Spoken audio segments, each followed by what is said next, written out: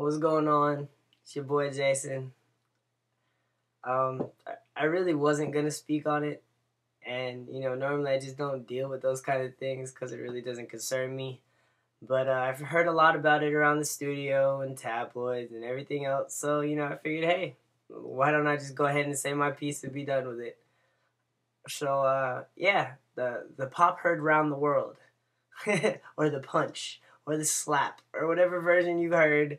Chris Brown and Rihanna, that whole ordeal. I mean, I, I don't really care, you know, because um, I was always too short to dance for him anyway. So either way, it never really affected me. But I, I really just want to have can we can we please have a moment of silence, please, for Chris Brown's career? Just you know, yeah.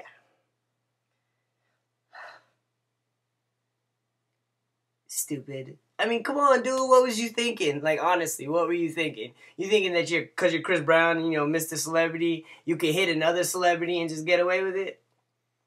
Come on, dog. That's like Dave Chappelle when keeping it real goes terribly wrong. Now, I just want you to know that you didn't just mess yourself up and your career. There are dancers behind you, your manager, the people producing for you, everybody banking on you, dog.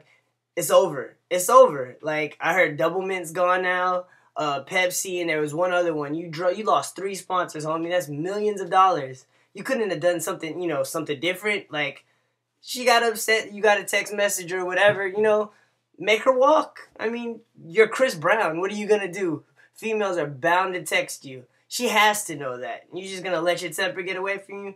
I personally, I think it's funny. I think you got exactly what you deserved. That's pretty much all I have to say about that. Um,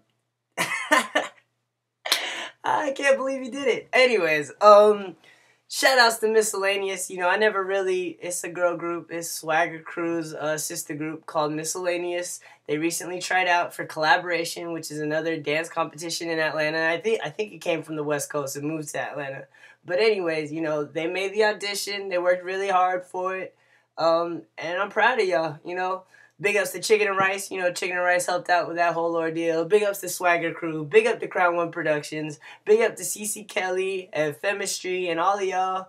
Uh, that's it, man. That's all I gotta say. Peace.